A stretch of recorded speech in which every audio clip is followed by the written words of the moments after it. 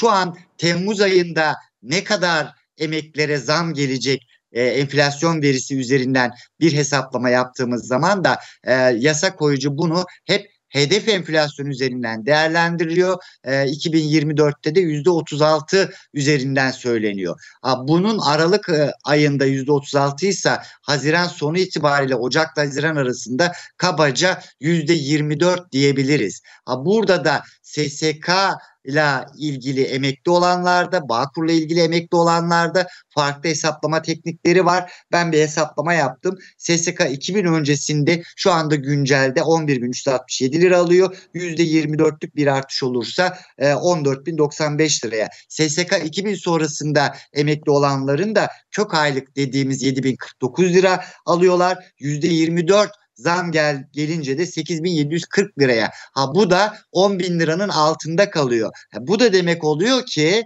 Haziran ayındaki 124 enflasyonla birlikte onlara maalesef bir zam yapılmayacak. Çünkü 10 bin liranın altında kalmış olacak. Buradan da yola çıkaraktan buradaki 10 bin lira taban ayla muhakkak bir dokunuş, bir artış gelmesi gerekli. Evet. Bağkur esnafta özür diliyorum. Bağkur esnafta 10.178 lira. %24 artışta 12.620 liraya. Bağkur tarımda 8.089 lira. %24 artış olduğu zaman 10.030 lira. Yani 30 lira gibi çok cüzi bir rakam zam gelecek. Bu da emeklerimiz içerisinde bir memnuniyetsizliğe yol açacağından dolayı buradaki 10 bin liralık rakamda mutlaka artış olması lazım. E %24 e, enflasyon diyorsak e, onlara da kabaca %25 e, yuvarladığımız zaman 10 bin liraya 12 bin 500 liraya çıkarılsa bile yıl sonunu yine orada emekli göremeyecek. Çünkü emekli 16 milyonun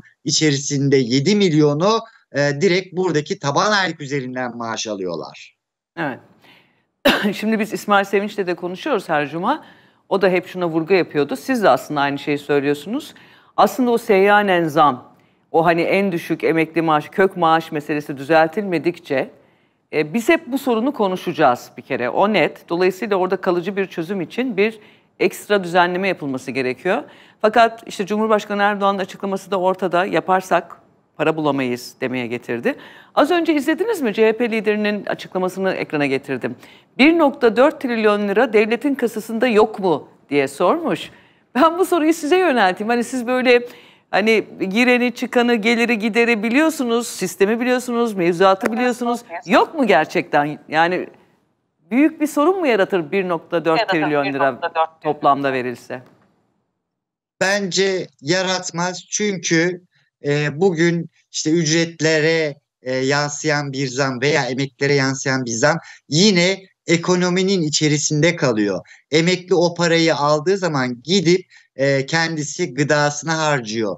Keza ev sahibine veriyor, kira ödüyor. Keza çocuklarına harçlık veriyor. Ha buradaki rakamlar yine ülke içerisinde ekonomi, ekonomi e, üzerinden dönüp dolaşıyor. Ha, her şeyden ziyade şuna dikkat çekmek lazım. Bugün emekli e, üzerinden hep EYT'yi e, konuşuyoruz. E, EYT üzerinden emekli olanların %50'si tekrar sistemin içerisinde kalıp sosyal güvenlik destek primi üzerinden prim ödüyorlar. E, dolayısıyla burada %32 oranında prim kesintisi var. Kabaca bu rakam 7500-8000 lira civarında onlar yine prim ödeyerekten hayatlarına devam ediyor, çalışıyorlar. Çünkü geçinemiyorlar çok düşük rakamla. E 10 bin lira e, maaş alıyorsa 8 bin lirasını yine sistem içerisinde kalıp da ödüyorsa burada emekli olan özellikle EYT'liler kendi almış oldukları maaşları kendileri de finanse ediyor gibi bir durum da ortaya çıktığını söyleyebiliriz Senem Hanım. Gerçekten de mesela yıllar içinde hep giderek fakirleştiğini görüyoruz emeklinin. Ya bunun temel bir sebebi var mı? Yani iktidar emekliye sırtını mı döndü? O yüzden mi oldu? Ne oldu yani? Niye bu kadar hep gerileme, hep gerileme? Evet bunun e, en temel e, sebebi geçmiş dönemlerde çıkan emeklere bağlanan e, maaşlarla ilgili hesaplama yönteminden kaynaklı. E, biz e, e, takriben ABO diye nitelendiriyoruz. Aylık bağlanma oranıdır açılımı. Dolayısıyla 2000 yılındaki emekli maaş sistemi ile ilgili e, sistem değiştirildi, hesaplama yöntemi değiştirildi. Daha doğru tabir bu ve de 2008'deki buradaki hesaplama yönteminde bir daha değiştirildi ve bu sebepten dolayı hani hep diyoruz ya çalıştıkça emekli maaşı düşüyor şeklinde bir e, şehir efsanesi vardı. Aslında bu şehir efsanesi değil doğru çünkü sizin çalışmış olduğunuz dönem e, boyunca halen devam ediyorsa e, emekli maaşınız her geçen ay boyunca düşüyor. En temel sebebi de buradaki aylık bağlanma oranlarından kaynaklı olarak. E, bu sebepten dolayı da şu an emekli e, olan vatandaşlarımız e, taban aylık dediğimiz 10 bin liranın altında e, maaş alıyorlar ve bu e, e, alt sınır aylığı dediğimiz koruma aylığından dolayı da 10 bin liraya tamamlanıyor ve bu şekilde devam ediyor. Ha, buradaki 10 bin liralık kısım ne olacak? Artırılmayacak mı? Emeklilerimiz 10 bin lirayla gerçekten geçinemiyorlar. Tüm Türkiye artık e, büyük şehir olarak da değil tüm Türkiye genelinde. Bu böyle siz Anadolu'da da olsanız orada e, kiraları ucuz bile olsa gıda enflasyonu çok yüksek olduğundan dolayı hele bir de evliyseniz sorumluluğunuzda çoluk çocuğunuz varsa bununla geçinmek gerçekten çok zor durumda. Senem Tolay Ilgaz. O hesaplama değişmeseydi mesela bugün en düşük emekli maaşı ne kadar olurdu? takriben 25 bin lira civarında olma ihtimali olabilirdi. Ama burada da e, sizin e, işte emekli maaşınızın düşmesindeki en büyük sebep aylık bağlanma oranı olduğundan dolayı e, çalışmış olduğunuz her e, ayda halen düşmeye e, takriben de 15 TL e, olarak düşmeye devam ediyor. Ha, düşülmemesi için asgari ücretin 3,5 katı ve üzerinde bir maaş almanız lazım. Ha, asgari ücret bugün net 17 bin lira. 3,5 katı da yaklaşık e, 50 50 e, bin küsür üzerinden değerlendiriliyor. Ha, bu şartlarda 50 bin üzerinde e, çalışan e, sayısı da çok çok az durumda. Asgari ücretimiz şu anda 17 bin lira civarında. Ya mesela 2002 Aralık ayında işte ben açılışta da söyledim.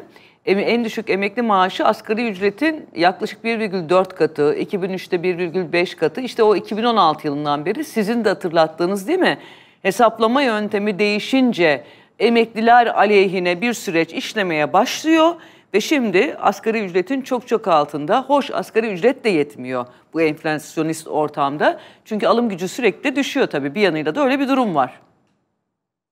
Doğru burada emekli maaşları da asgari ücrete endeksli diyebiliriz. Ha bunu bu cümle olarak e, şöyle bir önümüze koyduğumuz zaman işte kanun nezdinde de hesaplama nezdinde de e, hiç alakası yok gibi duruyor ama bence alakası var. Neden? Burada asgari ücretin e, ödenmesi veya çalışanların maaş ödemeleri özel sektör yapıyor. E, dolayısıyla sizin maaşınızdan kısa vadeli sigorta prim kolları ve uzun vadeli sigorta prim kolları yani emekliliğe yarayan primler de oradan kesiliyor.